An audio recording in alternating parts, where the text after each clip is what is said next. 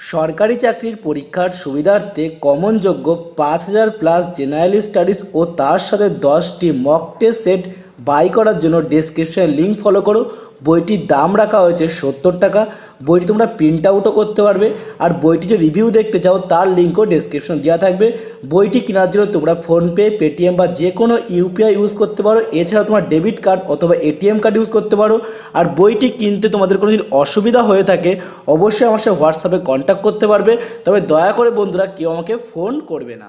High everyone টিডির exam চ্যালেঞ্জার্সের পক্ষ থেকে মক টেস্টের আরেকটি নতুন পর্বে তোমাদের প্রত্যেককেই স্বাগত জানাই। তোমরা প্রত্যেকে মক টেস্ট অ্যাটেন্ড করবে এবং অবশ্যই প্রত্যেকটা অ্যান্সার করার চেষ্টা করবে এবং তোমাদের কাছে দুই সেকেন্ড করে টাইম থাকবে প্রত্যেকটা অ্যান্সার করার জন্য। তারপর তোমরা কমেন্টে জানাবে কে কত স্কোর করেছ, প্রত্যেকে কমেন্টে জানাবে, প্রত্যেকের কমেন্ট আশা করছি।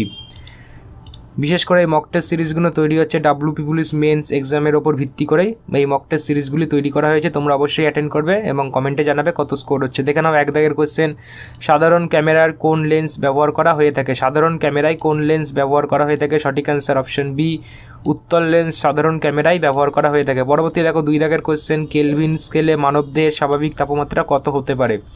কেলভিন স্কেলে মানবদেহের স্বাভাবিক তাপমাত্রা কত? প্রত্যেকে অ্যান্সার করো, চারটে অপশন আছে। এর ভেতর কোন সঠিক অ্যান্সারটি কী হতে পারে? যার অপশন বি ভাবছ সঠিক উত্তর, তিনশো দশ কেলভিন স্কেলে মানবদেহের স্বাভাবিক তাপমাত্রা। দেখে নাও, তিন দাগের কোশ্চেন দুই ভর সংখ্যা বিশিষ্ট হাইড্রোজেনকে কি বলা হয়? দুই ভর সংখ্যা বিশিষ্ট হাইড্রোজেনকে কি বলা হয়ে থাকে? সঠিক অ্যান্সার হয়ে যাবে অপশন সি, সঠিক অ্যান্সার। ডাইটেরিয়াম বলা হয়ে থাকে। দুই ভর সংখ্যা বিশিষ্ট হাইড্রোজেনকে ডাইটেরিয়াম বলা হয়ে থাকে। দেখে নাও, চার দাগের কোশ্চেন নিচের কোন ধাতুটি উড়োজাহাজে তৈরি করতে ব্যবহার ব্যবহার করা হয়। নিচের কোন ধাতুটি উড়োজাহাজ তৈরি করতে ব্যবহার করা হয়, সঠিক অ্যান্সার হয়ে যাবে। চার দাগের কোশ্চেনের সঠিক অ্যান্সার অপশান এ সঠিক উত্তর হবে টাইটেনি টাইটেনিয়াম। ধাতুটি উড়োজাহাজ তৈরি করতে ব্যবহার করা হয়ে থাকে। দেখে নাও পরের কোশ্চেন প্রাকৃতিক নির্বাচনবাদ তত্ত্ব প্রাকৃতিক নির্বাচনবাদ তত্ত্বকে আবিষ্কার করেন? সঠিক অ্যান্সার করার চেষ্টা করে, চারটে অপশান আছে। এর ভেতর সঠিক অ্যান্সার কী হতে পারে? অপশান ডি সঠিক উত্তর। চার্লস ডারোইন প্রাকৃতিক নির্বাচনবাদ তত্ত্ব আবিষ্কার করেন। নেক্সট দেখো, ছয় দাগের কোশ্চেন দেখে নাও। নিম্নলিখিত কোন অ্যাসিডটি পাচক রাশে থাকে? নিম্নলিখিত কোন অ্যাসিডটি পাচক রাশে থাকে? সঠিক অ্যান্সার তোমরা করার চেষ্টা করো। সঠিক অ্যান্সার হয়ে যাবে অপশন সি সঠিক অ্যান্সার হবে হাইড্রোক্লোরিক অ্যাসিড পাচক রসে দেখা যায়। হাইড্রোক্লোরিক অ্যাসিডকে পাচক রসে দেখা যায়। নেক্সট দেখো, সাত দাগের কোশ্চেন শ্রীকান্ত চরিত্রটি কোন লেখকের স্রষ্টা? শ্রীকান্ত চরিত্রটি কোন লেখকের স্রষ্টা? সঠিক অ্যান্সারটি হয়ে যাবে শরৎচন্দ্র চট্টোপাধ্যায় অপশান এ সঠিক উত্তর, শ্রীকান্ত চরিত্রটি শরৎচন্দ্র চট্টোপাধ্যায় স্রষ্টা। প্রসঙ্গত বলে রাখি বন্ধুরা, যদি কোনো কোয়েশ্চেন নিয়ে তোমাদের কোনো ডাউট থাকে, অবশ্যই তোমরা কমেন্টে জানাবে, সঠিক অ্যান্সার কী হতে পারে, আমরা পরে পর্যবেক্ষণ করে সেই কোয়েশ্চেনটি তোমাদের পরের দিন জানিয়ে দেবো ওকে নেক্সট দেখো আট দাগের কোয়েশ্চেন নাগাল্যান্ডের বিখ্যাত নৃত্যশৈলীর নাম কি? নাগাল্যান্ডের বিখ্যাত নৃত্যশৈলীর নাম কি? সঠিক অ্যান্সার হয়ে যাবে রেংমা, অপশান বি সঠিক উত্তর। নাগাল্যান্ডের বিখ্যাত নৃত্যশৈলীর নাম হচ্ছে রেংমা। নেক্সট দেখো নয় দাগের কোয়েশ্চেন কার সমাধিস্থল, বীরভূমি নামে পরিচিত। কার সমাধিস্থল? বীরভূমি নামে পরিচিত সঠিক অ্যান্সার হবে রাজীব গান্ধী অপশন সি সঠিক অ্যান্সার রাজীব গান্ধী সমাধিস্থল, বীরভূমি নামে পরিচিত। দেখে নাও পরের question Indian space research research organisation যাকে শর্টে বলা হচ্ছে কি? ISRO Indian space research organisation কোথায় অবস্থিত?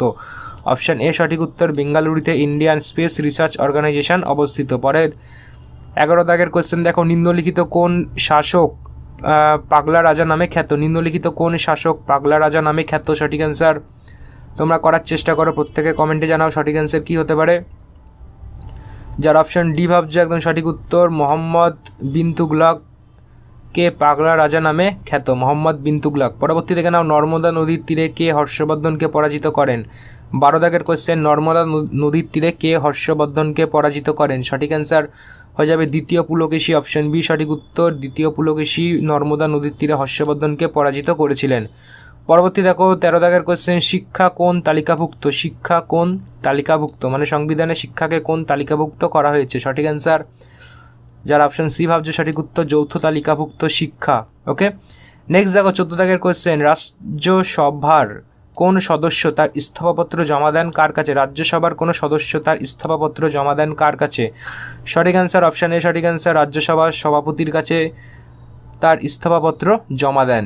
চোদ্দোর এ হচ্ছে সঠিক অ্যান্সার নেক্সট দেখো, পনেরো দাগের question general general agreement and trade and tariff G A T T যাকে শর্টে বলা হচ্ছে কি? জিএটিটি এর পরিবর্তে কোন সংস্থা গঠিত হয়েছে?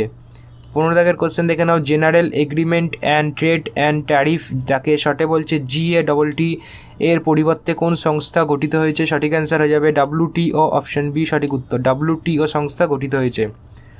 পরবর্তী দেখো, রাষ্ট্রসংঘের সর্বপ্রধান পরিষদ কি? রাষ্ট্রসংঘের সর্বপ্রধান পরিষদ কি? ষোলো দাগের কোশ্চেন অপশন সি সঠিক অ্যান্সার নিরাপত্তা পরিষদ, রাষ্ট্রসংঘের সর্বপ্রধান পরিষদ। ওকে নিরাপত্তা পরিষদ।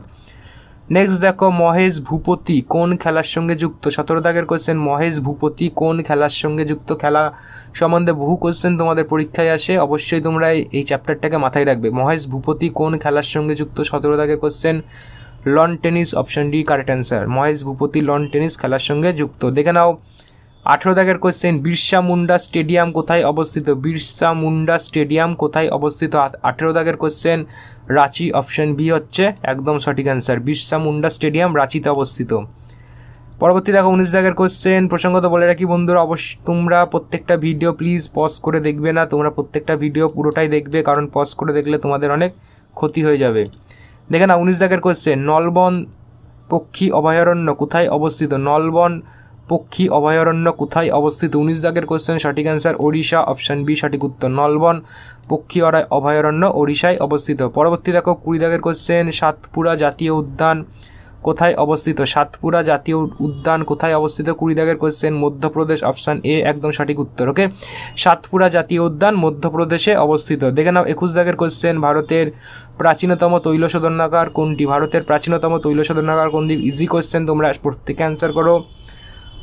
ভারতের প্রাচীনতম তৈল শোধনাগার কোনটি? প্রত্যেকে অ্যান্সার করার চেষ্টা করো। প্রসঙ্গত বলে রাখি, এবার থেকে একদিন পর পর তোমাদের কারেন্ট অ্যাফেয়ার্স পাবলিশ হবে এই চ্যানেলে তোমরা অবশ্যই চ্যানেলকে নতুন দর্শক হয়ে থাকলে সাবস্ক্রাইব করে দেবে ওকে একদিন পর পর করে এবার থেকে কারেন্ট অ্যাফেয়ার্স তোমাদের চ্যানেলে নতুন করে পাবলিশ হবে এই চ্যানেলে তোমরা যদি নতুন দর্শক হও, অবশ্যই চ্যানেলটিকে সাবস্ক্রাইব করতে ভুলবে না।